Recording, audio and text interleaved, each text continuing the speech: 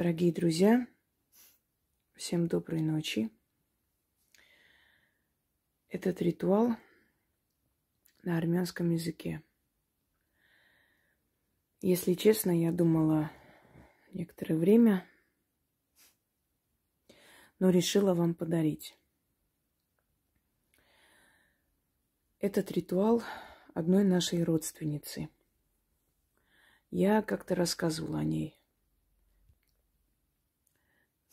Я вам говорила о том, что сестра моего деда была ведьма. И ее муж, э, женившись на ней, вначале, зная обо всем, согласился, что она будет продолжать свое ремесло.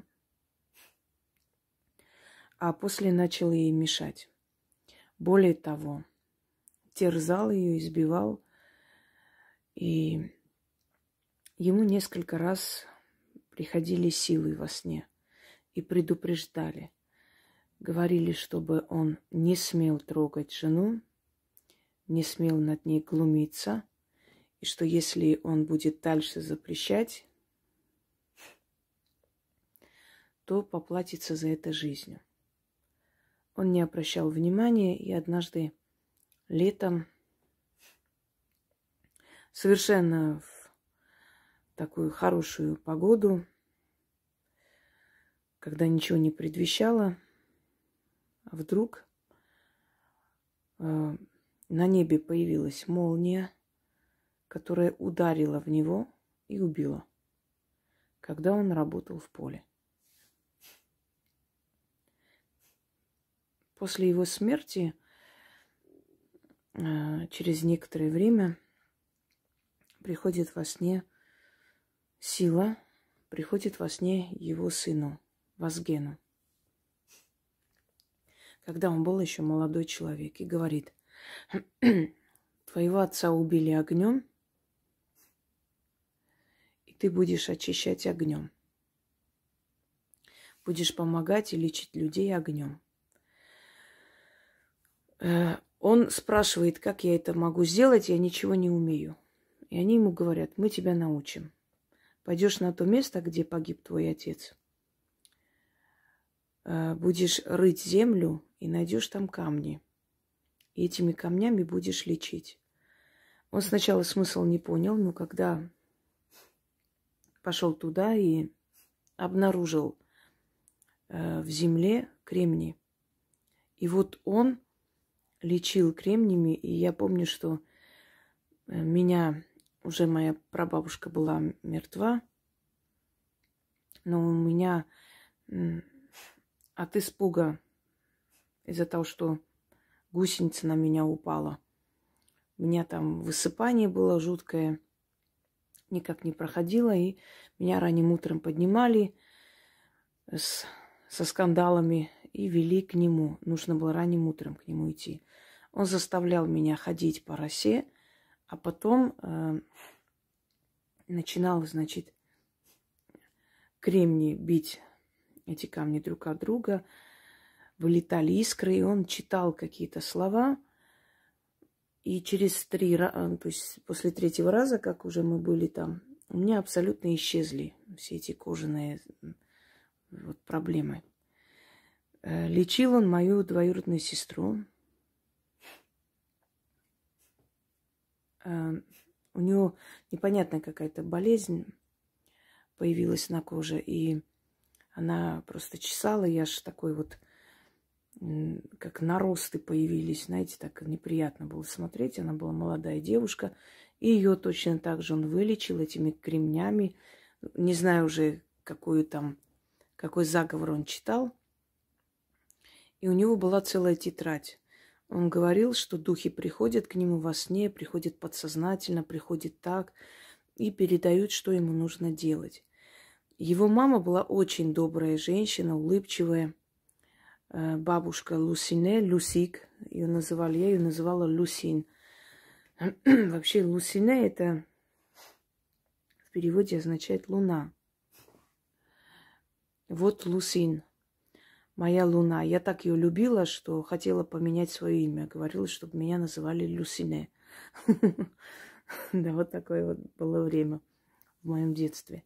Я помню, что Люсин э, дала маме заговор, ритуал, сказала, что надо ей делать.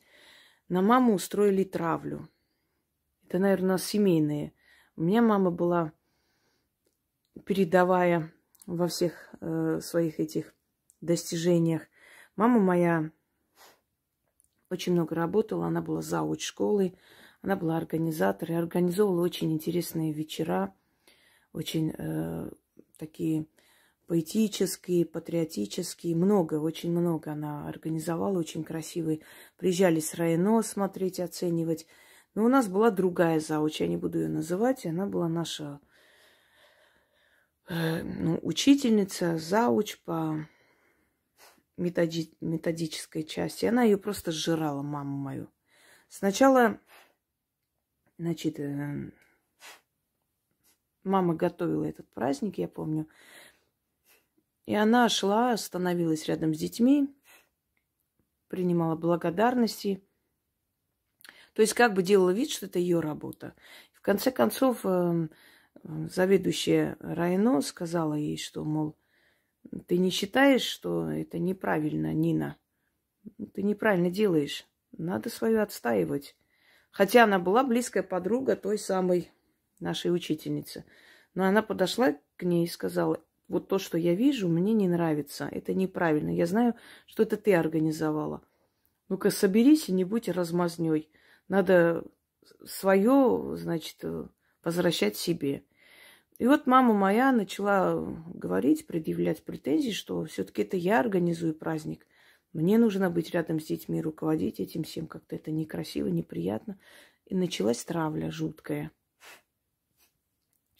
Вплоть до того, что она доводила ее до слез. Там были еще некоторые, которые были на ее стороне.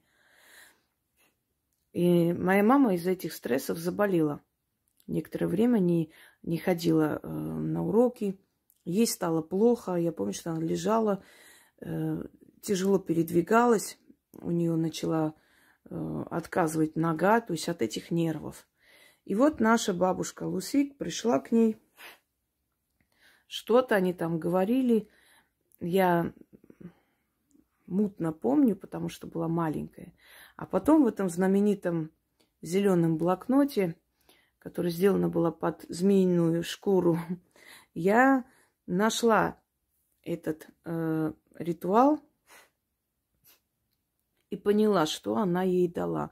Вы знаете, после этого все разрешилось. Значит, наша учительница, которая преследовала не только ее, и меня в том числе, специально занижала оценки. Мама моя говорила, что она не пойдет разбираться, потому что это ниже ее достоинства. Я была там пострадавшая, хотя я вообще была ни при чем и не смело мне строго-настрого вообще запретили и сказали, не дай бог там, ты хоть каплю там покажешь какое-то неповиновение во время уроков или что-либо, это тебя не касается, нашей разборки, потому что я знала, видела. И после того, как мама моя это провела, через три дня ее, эту учительницу, перекосила просто. Во время уроков ей стало плохо, она упала в обморок. Вызвали скорую. Тогда телефоны были только в сельсовете, в школе, во, во, всей, э, во всем селе не было телефонов. Э, ей стало плохо, ее там еле спасли. Потом она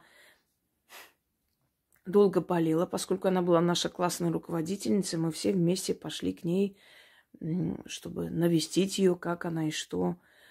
Э, и через некоторое время Почему-то она собралась, продали дом, и они переехали в Армению, переехали в село ее родителей. У сына судьба не сложилась. Второй сын попал в тюрьму, правда, отсидел недолго. В общем, она получила по заслугам очень страшно.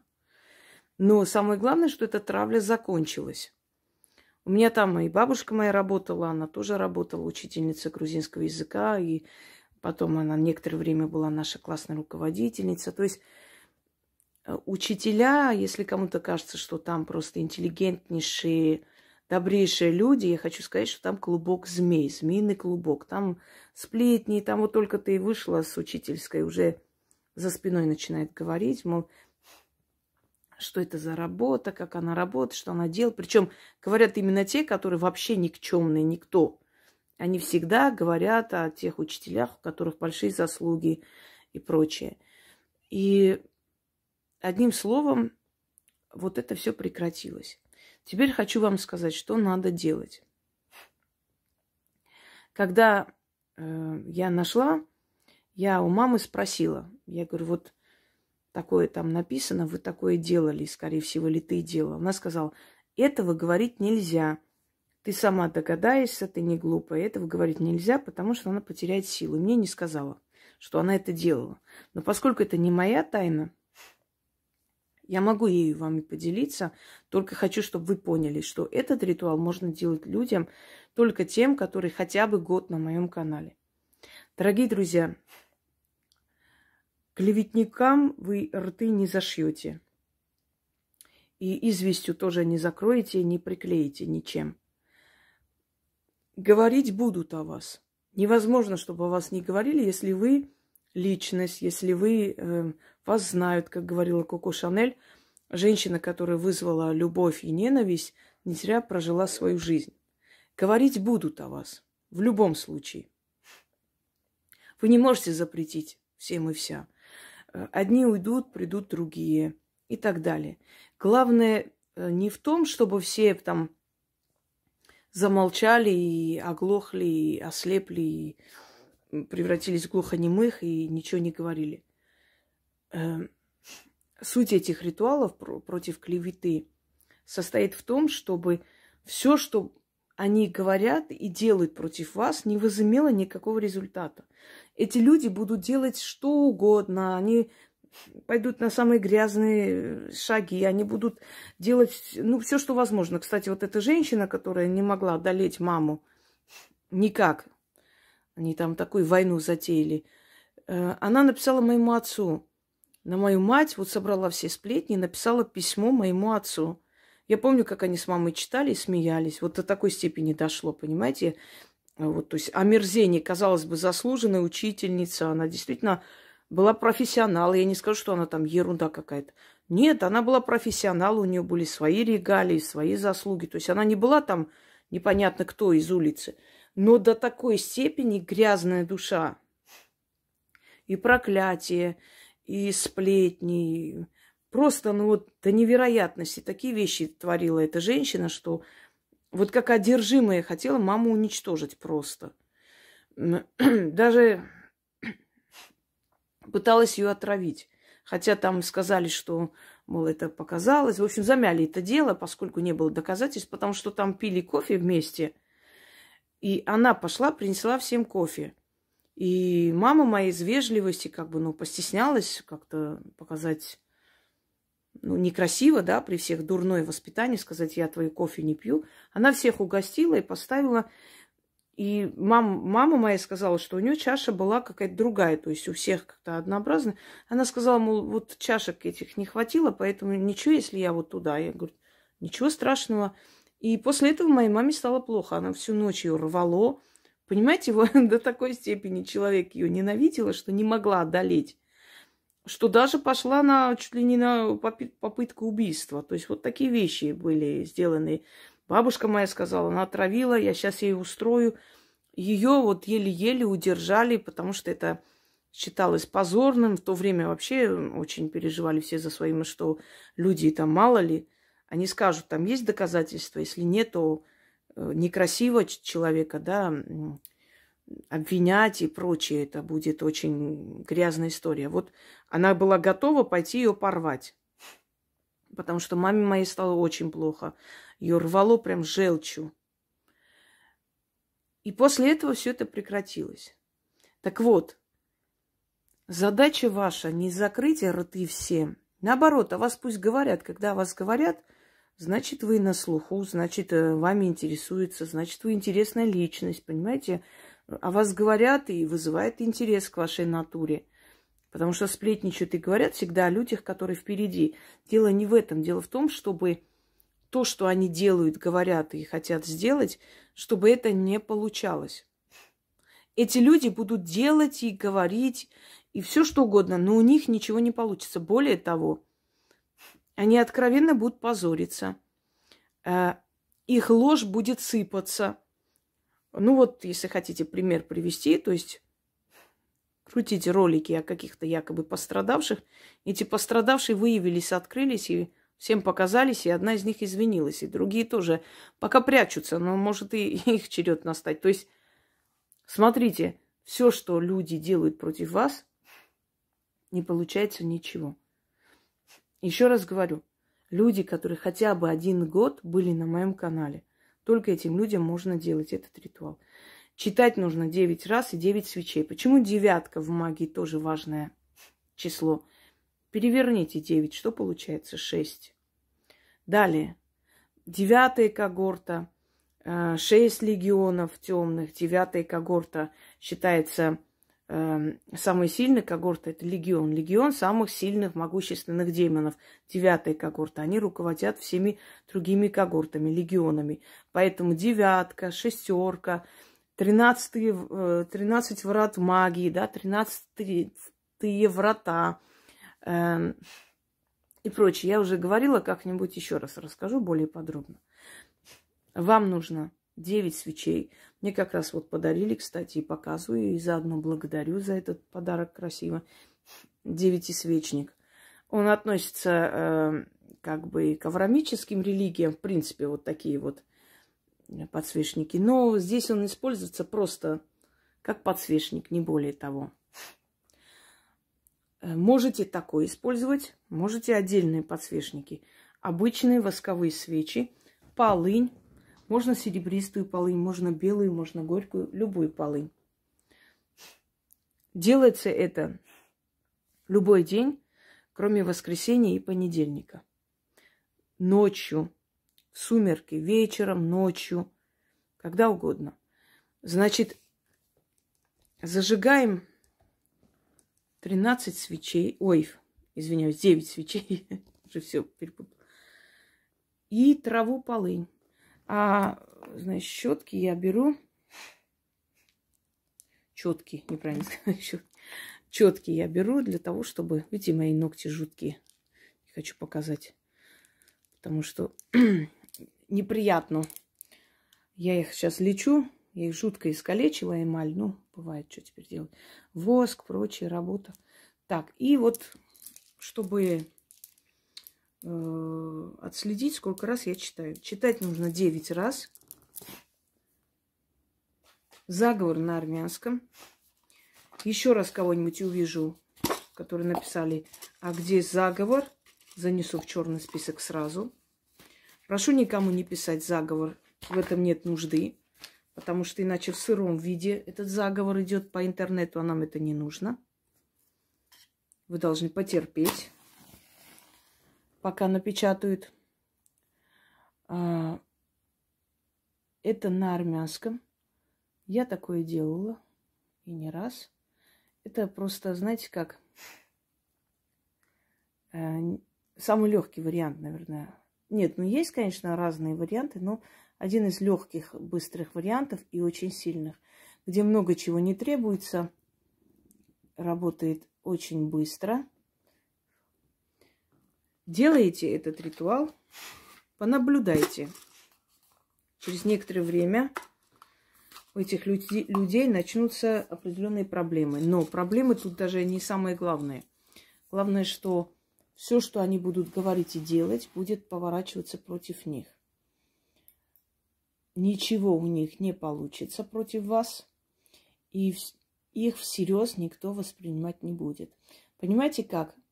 заговоры против клеветы, они работают в основном под такой системе. Вот все, что человек говорит, говорит во вред себе. Иногда человек может сам удивиться тому э, и как бы сам себя спросить, вот нафиг мне это нужно было говорить, это же, ну как бы не актуально, это же никак мне не помогло против нее, наоборот, мне хуже же стало. Очухается и сам не поймет, как это получилось, а это уже получилось. Девять раз нужно говорить. Э, после чего, как только 9 раз заговорили, подождите немного, чтобы свечи вот хотя бы, да, вот такого э, размера вот до, до этого места догорели. Ну, то есть э, чуть-чуть остается огарки. После чего на следующий день, если это ночью проводите, днем, э, все, что осталось от травы и от свечей, в черную материю,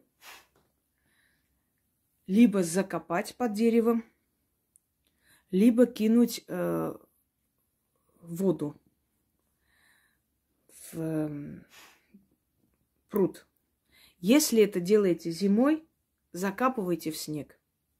Разницы никакой. Главное, чтобы она, то есть, э, была закрыта некоторое время. Растает снег, что там будет, это не страшно. Нужно закрыть, закопать, закопать под э, что-нибудь или кинуть прорубь. То есть, ну, в стоящую воду. Я немножко устала, естественно, уже утро, поэтому так бывает, что как бы сказывается усталость, не обращайте внимания. Вот примерно таким образом это все нужно делать. Опять у нас шонги тут проходят, как видите. Читать буду на армянском, читаю так, как должно звучать на армянском языке. Вы можете, когда будете читать, собственно говоря, читать так, вам, как вам удобно, то есть э, заменять некоторые звуки, которых нет в русском языке, но это не страшно. Главное, основной смысл передать, и вы увидите, как сильно это сработает. Тем более, что армянский язык – это, скажем так, один из прямых потомков санскрити. Если кто не знает, санскрити называется про язык. Та информация, что санскрити это всего лишь один из индуистских языков или э, языков, э, язык для веды, для... Сейчас, секунду.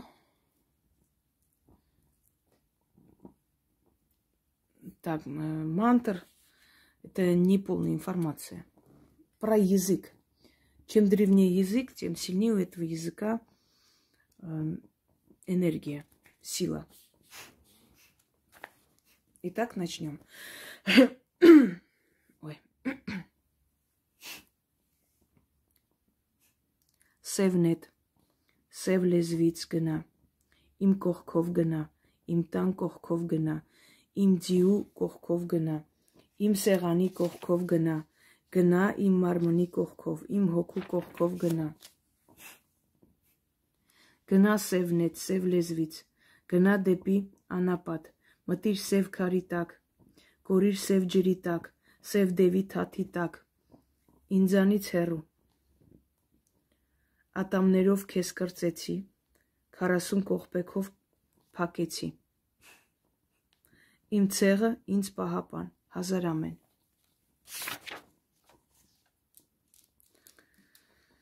Տարօրաս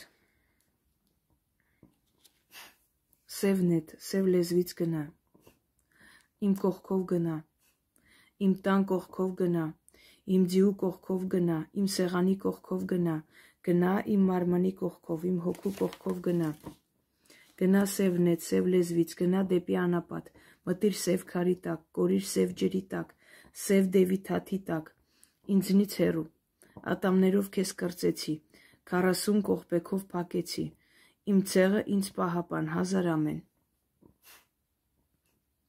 Хочу сказать, что появляется такая сильная бодрость и ощущение, как будто от вас груз упал.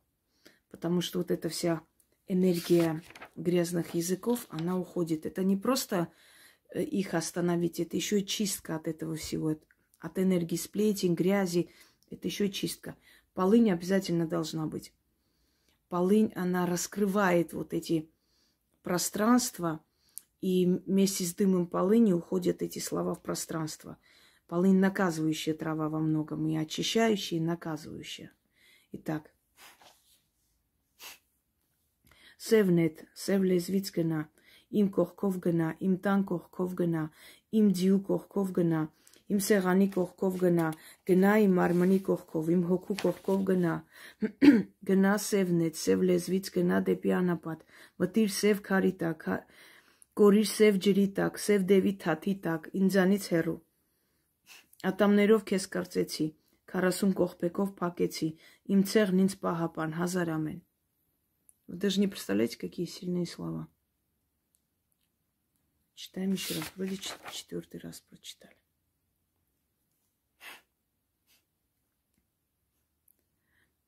Սևն է, սև լեզվից գնա, իմ կողքով գնա, իմ տան կողքով գնա, իմ ձիու կողքով գնա, իմ սեղանի կողքով գնա, գնա իմ մարմնի կողքով, իմ հոգու կողքով գնա, Գնա սևնեց, սև լեզվից, գնա դեպի անապատ, մտիր սև քարի տակ, կորիր սև ջրի տակ, սև դևի թաթի տակ, ինձանից հեռու։ Ատամներով քեզ կրծեցի, 40 կողպեկով փակեցի, իմ ցեղն ինձ պահապան, հազար ամեն։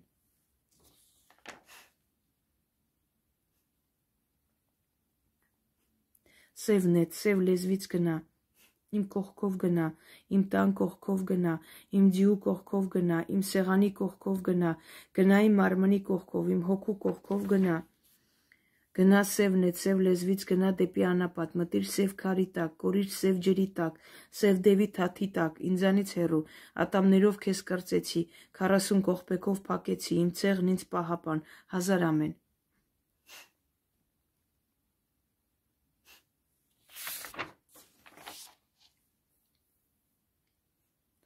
Սևն է, սև լեզվից գնա, իմ կողքով գնա, իմ տան կողքով գնա, իմ ձիու կողքով գնա, իմ սեղանի կողքով գնա, գնա իմ մարմնի կողքով, իմ հոգու կողքով գնա։ Գնա սևն է, սև լեզվից գնա դեպի անապատ, մտիր սև քարի տակ, կորիր սև ջրի տակ, սև դևի թաթի տակ, ինձանից հեռու։ Ատամներով քեզ կրծեցի, 40 կողպեկով փակեցի, իմ ցեղն ինձ պահապան, հազար ամեն։